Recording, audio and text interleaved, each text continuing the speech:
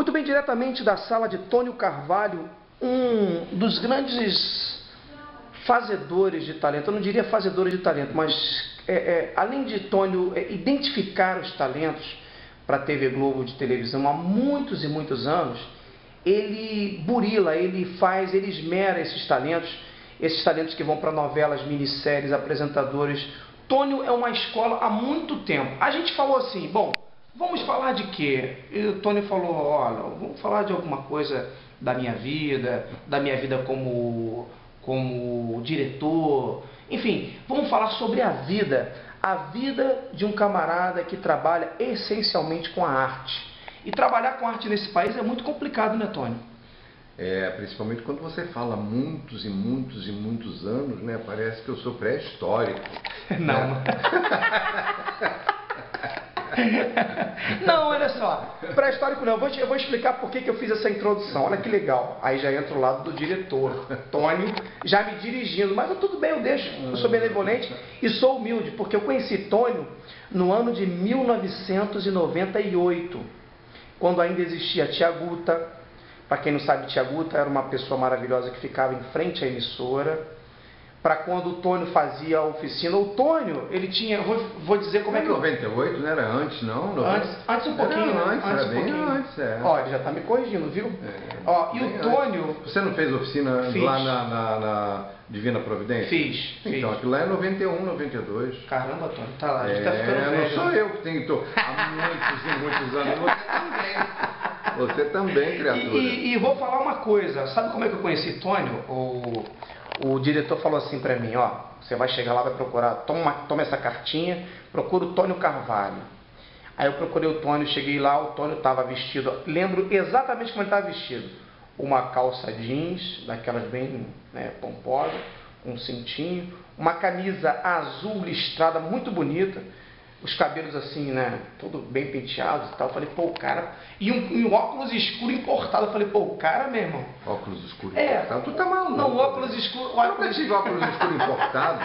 Imagina, cabelo penteado, imagina. Não, mas você, você, era, você fazia um. O cabelo tava mais escuro, só isso. isso. isso Agora já tá grisalho, tá ficando branco. Tem né? saudade, Tony, daquela época? Não. Não. Mas assim, mas foram grandes, grandes personas que você conseguiu trabalhar ali. Foi um momento bacana. Não, mas isso, isso foi uma época e continua sendo, né? Claro. Quer dizer, então, evidente que é um prazer e um orgulho muito grande. Eu sinto, sabe, muito orgulho de ver aquelas pessoas que na década de 90 estudaram comigo na oficina de atores, hoje em dia estão no primeiro time da, da, da, da TV Globo, né? Eu acho bárbaro, né? Hoje a gente poder apreciar o trabalho do, do Murilo Benício, do Murilo Rosa, do, do Rodrigo Santoro, do Eduardo Moscovis, né, da Camila Pitanga, da Letícia Spiller, da Alessandra Negrini, né, da é, Regiane Alves, né, tanta gente que passou pela oficina, né, é um prazer muito grande. E recentemente também a Marjorie este ano, por exemplo, né, o Tiago Rodrigues, é tanta gente bacana que nem dá para lembrar de todo mundo. Então, quer dizer, eu não sinto saudade daquela época porque eu continuo vivendo exatamente as mesmas coisas, claro, de uma maneira diferente, porque a gente vai se transformando, né, o mundo vai se transformando, a vida vai se modificando e a gente aborda as coisas de maneira diferente. Diferente, né? a gente. É, é, e outra coisa, Tony, eu queria até é, fazer uma referência àquele momento, porque outro dia eu fui entrevistar o Roberto Assaf e eu passei ali em frente. E aquele, a, a Divina Providência, a pedra fundamental da, daquela obra foi da minha bisavó. Ela que fez aquela igreja, junto com os padres, ela era envolvida com o negócio de catolicismo. E um tempo atrás ela ficou cega e eu fui, fui visitá-la, parece que tinha ali um, um lar de idosos, ela estava ali. E um belo dia, ela, ela me, ela, quando eu estava ainda na tua oficina, eu ali, faz, nós fazíamos ali as aulas lá atrás, eu fui visitá-la, ela falou, meu filho, você está numa dependência que a sua vovó ajudou a construir. Eu achei aquilo muito legal. E aí outro dia, visitando ali, circunstancialmente porque fazer uma matéria esportiva, eu olhei para aquilo, está muito bonito, está bem iluminado, né? É, tá. E eu lembrei do Tônio Carvalho, porque a sala ficava quase que em frente. Uhum. E o trabalho naquela época da, da oficina, Tônio, era um trabalho assim meio artesanal, né? Você ia pegando as pessoas. Eu acho que de uma certa forma Ainda é. Não, né? claro. Ainda é, porque é, evidentemente a gente é uma oficina de não de formação total dos atores. A gente espera que os atores já tenham alguma formação teatral, que já tenham frequentado cursos. É muito mais. A gente está trabalhando dentro de uma emissora de televisão. Né? A gente espera que os atores já tenham algum tipo de, de trabalho anterior e que a gente venha a adequá-los à linguagem de televisão né? e não formá-los enquanto atores. Evidente que quando a gente é, trabalha essa, essa adequação, adequação essa acaba, acaba mexendo em uma série de, de estruturas que já é, de estruturas e de conhecimentos e desinformações e de informações equivocadas, né, que a gente procura trabalhar. Eu digo que são quatro, cinco meses que correspondem a quatro anos fora daqui, porque é muito intenso, é muito puxado mesmo, é um mergulho muito que exige muito dos atores. Eles não apenas é, trabalham o dia inteiro aqui conosco, mas eles vão para casa de noite, eles têm que continuar estudando, têm que acordar cedo, voltar para cá.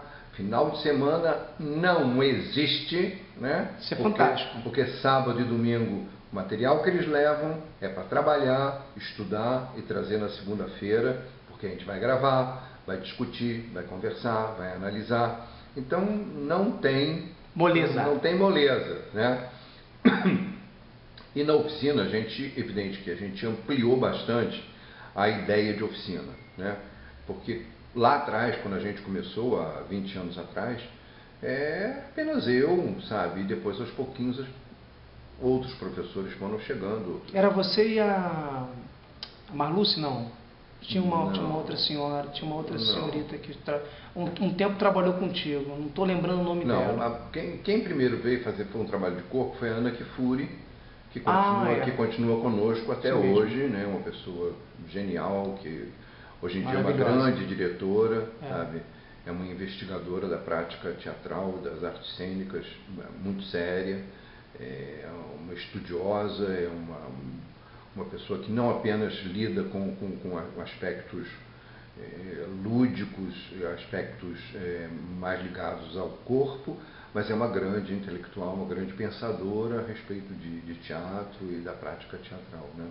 E trabalha muito aqui na emissora, não apenas aqui na oficina, mas em, ela volta e meia chamada para trabalhar com outras produções, é uma pessoa extremamente competente. Né?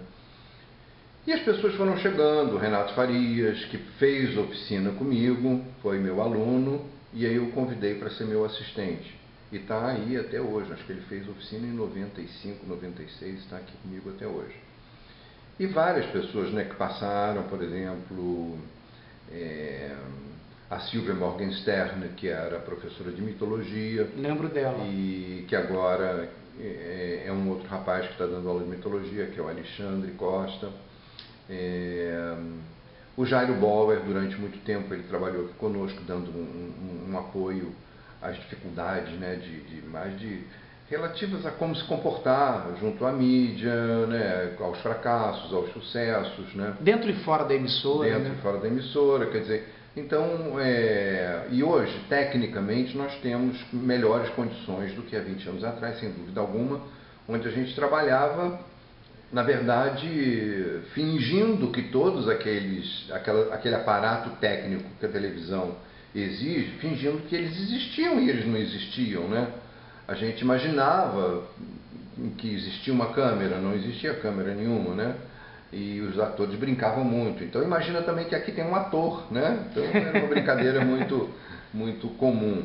Hoje em dia a gente tem um estúdio, o equipamento que a gente tem não é um equipamento 100%, mas dá para a gente simular um muitas simular, coisas. É, e acaba sendo também artesanal de uma certa forma, porque a gente não tem todos os recursos que seriam os recursos é, exigidos, né, se a gente quisesse um belo de um acabamento. Mas como também o que a gente faz na oficina não vai ao ar, também não tem Mas grandes eu... problemas se, se, se as coisas não, não funcionarem tecnicamente tão bem. Né? Mas eu, eu, eu já acho que se eu tivesse na oficina hoje, poxa, eu estaria assim na glória, porque quem fez lá e era muito bacana porque essa coisa do improviso, do imaginário se trabalhava muito.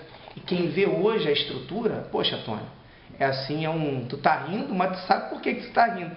É, uma, é um ganho assim, você tá falando assim, que hoje se tem uma estrutura é. muito violenta, muito bacana em relação àquela, né? É, com certeza, mas isso é um, você sabe que estamos no Brasil, né? Não. A gente mata um leão por dia. Claro, né? claro. A gente tem que estar tá, uh, provando coisas, né? Todo santo dia. É né? verdade. Então, é, você sabe que então para a gente conquistar coisas. tem que, é tem que matar luta, e morrer todo dia. Demora, é. né? ou a gente consegue uma coisa, no dia seguinte consegue outra, no terceiro já tem que dispensar uma porque é outra, entendeu? E assim vai. E assim vai. É meio, meio, caranguejo, né? é. né? Dá dois passos para frente e um para trás. É, né? é um comedor de damas. É, dá, dá uma ainda bem, ainda bem que eu entendo esse, esse espaço do caranguejo, porque eu sou de um signo ah. É, de caranguejo, eu sou canceriano. Ah, você é canceriano? Então, como eu sou canceriano, eu entendo esse vai para cá e vai para lá, né? Esse é. samba do crioulo doido, é que é o samba do, do caranguejo, né? Me lembrou até a música do Oswaldo, Caranguejo. Aquela música é muito bonita. É, e eu tive o prazer de ser teu aluno, um pouquinho que foi, um pouquinho tempo que foi, e fui o único representante da oficina de narradores, que é uma outra história do Luiz Fernando Lima. Hum. Então, assim, a minha história na Globo é uma história bonita em termos, pelo menos, de aprendizado. Estou aprendendo muita coisa na emissora.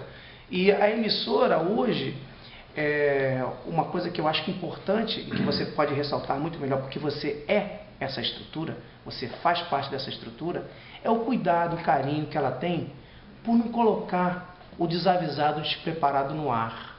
É, isso, isso eu acho que é uma coisa assim fundamental e a gente tem realmente essa preocupação, né? É, a gente, evidente que o, os atores jovens, né, quando eles chegam, eles têm, evidentemente, pela pouca idade que eles têm, não adianta ficar esperando que eles dominem né, toda, toda, toda a prática de, de, de interpretação. Né? Eles estão a caminho. Né? Os próprios atores mais velhos estão a caminho, que dirá os mais, os Com mais, aprendizado os mais constante. novos. Né? A gente sabe que o trabalho do ator, o trabalho do artista, ele não termina nunca. Você tem que estudar sempre. Você está sempre começando do zero, sabe? Até a hora de morrer, sabe? A gente está aprendendo. Você tem que estar tá aprendendo. Você pode estar no seu leito de morte. você está aprendendo. Né? No leito está aprendendo. A luz pode não te favorecer se dizer, peraí, deixa eu morrer desse jeito aqui, que a luz está melhor. É tá verdade. Então, quer dizer, é uma coisa assim que é, não tem jeito sabe? E a gente, evidente que a gente tem uma preocupação que os atores não sejam expostos, né, é, de uma maneira equivocada, né, no vídeo. E é claro que isso não é 100% garantido. É claro que existem sempre deslizes, isso acontece, isso é natural, né?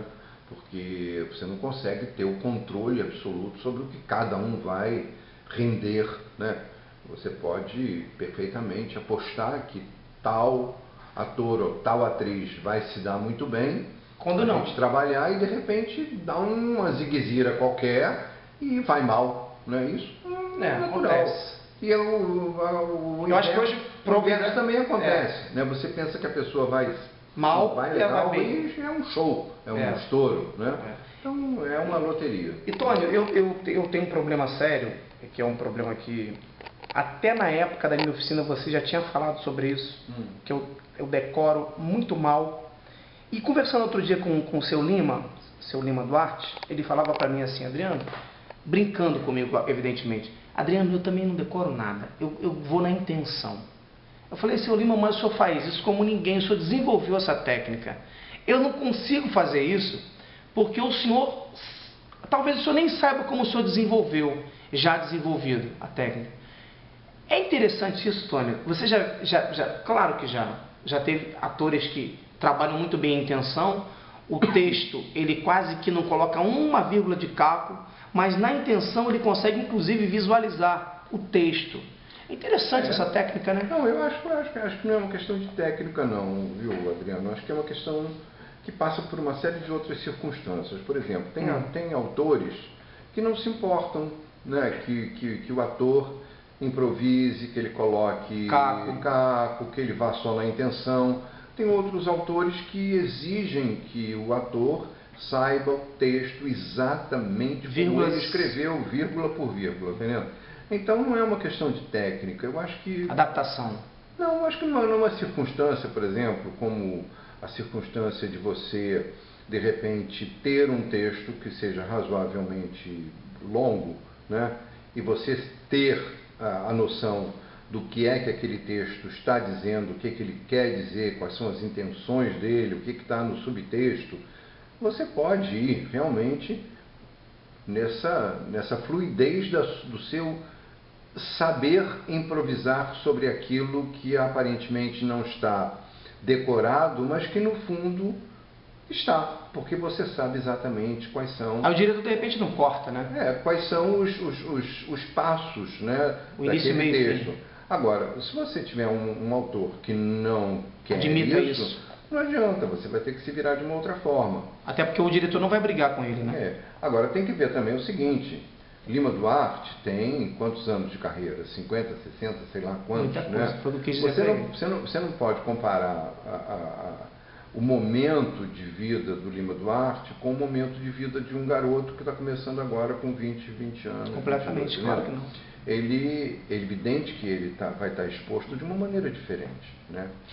Um Lima chega diante de uma câmera, é, é, dentro de um estúdio, ele está À em vontade, casa, ele né? está completamente à vontade. Agora, um garoto que está entrando, que está começando, uma atriz, né? aquilo tudo, aquela parafernália toda é muito assustadora, sabe? É um compromisso muito grande. Então, é, é muito difícil que ele vá só na intenção, né? só no improviso. Entendi. Entendeu? Ele vai se sentir mais seguro se ele tiver o texto decorado, sabido, ensaiado, estudado direitinho. Né? Agora, dando uma quebrada e até uma vírgula no nosso assunto, vamos falar sobre cinema, que eu sei que você adora, que você gosta, que você curte. É claro que você curte televisão também, porque você faz e trabalha televisão. Agora, um cineminha é muito bom, né, Tony?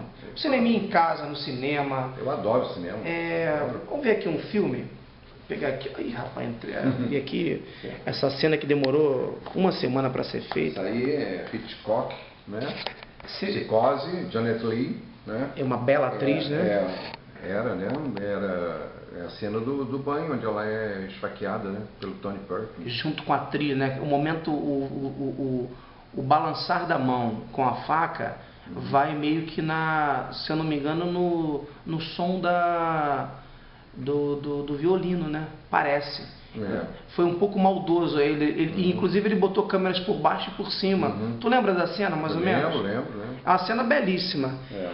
O que, que você curte assim quando você está em casa, quando você está curtindo o teu. Eu sei que você deve curtir muito cinema, muito teatro, mas o que, que você tem prazer em rever várias vezes? Você tem, tem essa, essa mania ou não, você de vez em quando não viu, tá visto, não quer ver mais? Ou você, de vez em quando você Não. vai lá e vê de novo Eu para ver? eu vejo. Tem alguns filmes assim que são talvez 10, 12 filmes que, que são os meus filmes da minha vida, assim, que eu volta e meia. Eu O dou 12, uma- rapaz?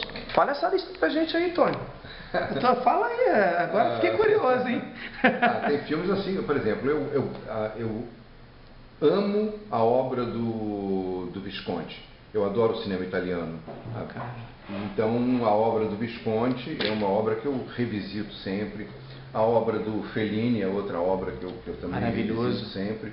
Eu gosto muito de musicais, então eu sou tarado por musicais. Julie então, Andrews. Eu adoro a Julie Andrews, acho ela maravilhosa. Ela tá, ela tá, continua nativa, né?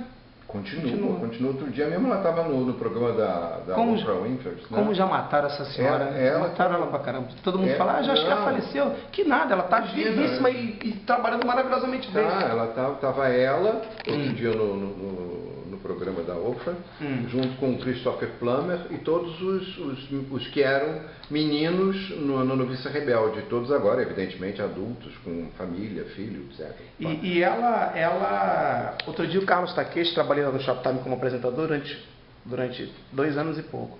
O Takeshi falou, Adriano, tem uma viagem, cara, que tu paga, que você vai naqueles lugares todos, é maravilhosa. Uhum. Você já fez essa viagem? Não. Aí eu falei, mesmo Takeshi, Ele, cara, olha, vale a pena cada centavo. Você chega lá e você. você e, e engraçado, eles mantêm todo aquele local exatamente como o filme, porque virou um grande, um grande elo entre o filme Uhum. e a questão também envolvendo o turismo da localidade. É. E aí você tem canecas, filmes, DVDs, roupa. Salzburgo, né? Exatamente. É. Aquela primeira sequência. Mas, o, mas o, a, a Noviça Rebelde não é o, o, o musical que eu mais gosto, não. né? Ah, então qual é? Ah, eu, gosto, eu gosto mais de Hair. Ah, eu, gosto, show. eu gosto muito de Cabaré. Hum. É, eu gosto muito de. é, como é que é? Hair é maravilhoso. Hair é né? maravilhoso, Hair é maravilhoso. Não apenas no teatro, né, mas no, o filme né, que o Milos Forman fez, né, é. maravilhoso. Gosto muito de Billy Elliot, que eu acho um filme lindo, Show. lindo, e agora inclusive está tá, tá no palco lá em Londres, né, em Nova York. Né. Você, já- você de vez em quando viaja para, quando tem um tempo, logicamente, de férias, você viaja para, para, sei lá, para passear e para também para curtir, vai na Broadway. É, é muito difícil. Eu, eu, eu, eu, eu Jura, consegui- Tony? Eu consegui viajar para passear. Muito difícil. Eu sempre. Dá uma escapadinha, vai fazer um negócio e dá uma escapadinha. É, uma- é, é- é muito difícil. Eu, eu, na verdade, passei a minha vida inteira mais trabalhando do que qualquer outra coisa. Eu não sou daquelas pessoas que veio ao mundo a passeio. Não sei se felizmente ou infelizmente, tá entendendo? Mas então a eu gente- gostaria de ter passeado um pouco mais. Mas então a gente convive da mesma, da mesma sintonia, porque eu acho assim, para mim passear é estar trabalhando naquilo que eu amo e que eu gosto. Uhum. Então eu já estou passeando. Uhum. Quando eu vou no Engenhão narrar um jogo, para mim já é um passeio. Pode ser América e lá vai fumaça. Uhum. Eu tô lá, sei que o América está sendo dizimado, coitado dos americanos. Não Mas, fala assim do América, né? Mas o América é um grande time. não, Pô, não, América e lá vai fumaça. Lá vai fumaça é outro Lamartine. Babo vai pular na sua cabeça, hein? Falar nele, falar em Lamartine, tem Ari Barroso aqui. Hum. O Flamengo, né, Tônio? O Flamengo é uma paixão. Eu não sabia, rapaz. Como é que pode? Para você que está do outro lado da telinha, o Tônio é rubro-negro e conhecedor das coisas do Flamengo. Eu jamais, se eu morresse hoje, fulminado aqui, eu não saberia. Mas muita gente acha, diz assim, Tony, você gosta de futebol? Tony, você é torcedor? Já valeu uma entrevista. Eu digo, pô, cara, qual é o problema? Sabe? Ué, As você pessoas tá- rotulam. É que acho assim, porque como eu sou uma pessoa Ah, ligada à arte, É. ligada a teatro, Não pode, não a pode. cinema, né? Aí, aí imagina uma pessoa sensível, uma pessoa, É. né? Uma pessoa é, delicada, né? Uma pessoa Educada. educada, uma pessoa que é, Foi tratada a Pondeló. não, não fui tratada pandeló. entendeu? uma, uma pessoa que teve uma boa educação. Não, claro, etc, claro, né? E como é que você pode se interessar por futebol, né? Eu digo, Que que tem uma coisa a ver "Gente, com a outra?" Eu sou Flamengo desde sempre, desde quando eu nasci. Por causa de quem? Papai, por causa mamãe? de ninguém. Não. Por causa de ninguém. Se apaixonou. Me apaixonei, sabe? Eu sempre gostei de vermelho e negro, entendeu? Era uma, uma cor Então, que te atrai. É, rubro-negro. Tanto que eu, eu- é muito difícil, eu, eu sou Flamengo, incontestavelmente, mas eu acho muito difícil torcer contra o Atlético Paranaense, eu acho difícil torcer contra o Atlético Goianiense. Ah, entendi, eu acho por causa das difícil- cores. Eu acho difícil Milan, da Itália. contra o Milan, eu acho difícil torcer contra o Vitória, acho difícil torcer contra o Sport, Sport. Recife, entendeu? O leão da ilha. É. Porque eu gosto das cores, entendeu? Agora, o Flamengo, Flamengo, é Flamengo é Flamengo, né? É. O Flamengo, então, olha só, Antônio falou do Flamengo. Então a gente até vai falar do Flamengo. Quer ver? Tem algum jogo que você lembra que ficou marcado na sua vida? No momento que você estava assim, chegou em casa, cansado, tomou um banho, pimba, ligou a televisão. De repente está o Antônio lá curtindo o Flamengo e aquele jogo é um jogo é, agudo, é um, é um jogo que é o tudo ou nada, é um- é uma decisão de título, é um, Adriano, eu, eu procuro não ir muito ao campo ver o Flamengo. porque você sofre. Por- não, primeiro porque eu sofro mesmo. Então, Então. E segundo que eu não sou muito pé quente, entendeu? Eu não dou muita sorte. Ah, mas espera aí, Eu mas não- não- em algum momento você não, deu sorte. Então, Não, não, eu evito, eu evito. evito porque a primeira vez que eu fui ao Maracanã, ele é supersticioso. primeira vez que eu fui ao Maracanã, eu vi o Flamengo perder do Fluminense de 2 a 1 Ah, um nome de resultado normal. Eu sofri muito. Foi a primeira vez que eu fui ao Maracanã. Mas você lembra quando? Eu era garoto. Ah, garoto. Pô, sabe, um garoto que sai de casa pra, certo de que o Flamengo ia ganhar, eu ia sair de lá feliz da vida. Pensou né? naquele jogo a semana inteira. disse, não, não, não, não dá. E uma- um outro jogo também que eu fui, que eu saí de lá traumatizado também, foi um jogo em que o Flamengo jogava contra o Santos Ah, e nós saímos de lá com uma derrota de 3 a 0, eu disse, ah, não vai dar, sabe? Acho melhor ficar em casa, sabe? Agora, o, o Flamengo hoje está é, tá passando por esse processo aí de. A torcida queria muito o Adriano e tal.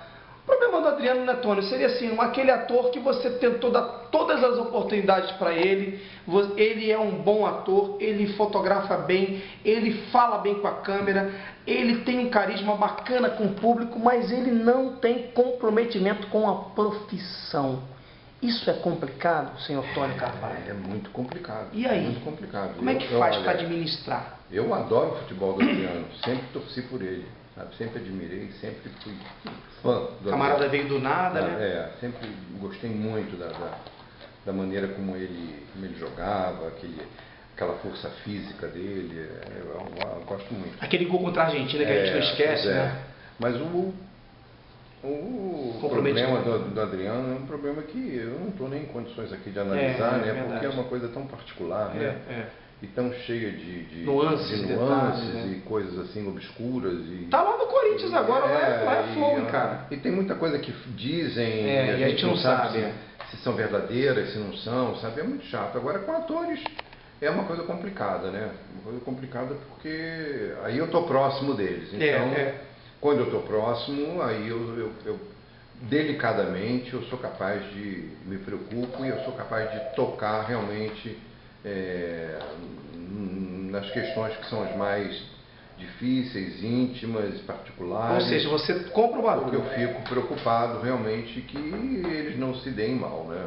É, porque na verdade, né, Tônio, é, você pode, no momento que o ator, que nunca te deu trabalho, de repente está dando, e tem um, possivelmente está vivendo uma crise pessoal ou alguma coisa que está tirando ele do eixo, já que você o formou e você o conhece é. como ninguém. Agora, item 2. É, eu, eu, eu, acho que não, eu não vejo muito por esse lado, porque na oficina, já naquela, naquela ocasião, você trabalhava hum. muito isso. Eu lembro que você, olha, gente, vocês são atores, estão ou poderão fazer TV, mas não se deixem levar. E você até brincava, aí o fracasso lhe subiu a cabeça. Você tinha umas frases assim, umas coisas. E a gente ficava com aquilo, é por que, que o Tony fala tanto isso? Porque realmente, para algumas pessoas, para outras não, mas para algumas é muito complicado, né, Tony? Uhum. Você está exposto numa, numa novela das seis, das sete, das oito, você está numas revistas. Você, esse, esse dizem que o Adriano, dizem que o Tony, esse disse-me-disse das revistas, do burburinho, isso mexe muito, essa falta total hoje em dia, com essa globalização de privacidade. Esse psicológico tem que ser bem trabalhado na oficina. E você trabalhava já naquela época é, bem, né? É, eu trabalhava porque na verdade eu era muito solitário para lidar com as pessoas, né? Eu não tinha, eu não tinha a equipe que eu tenho hoje, né?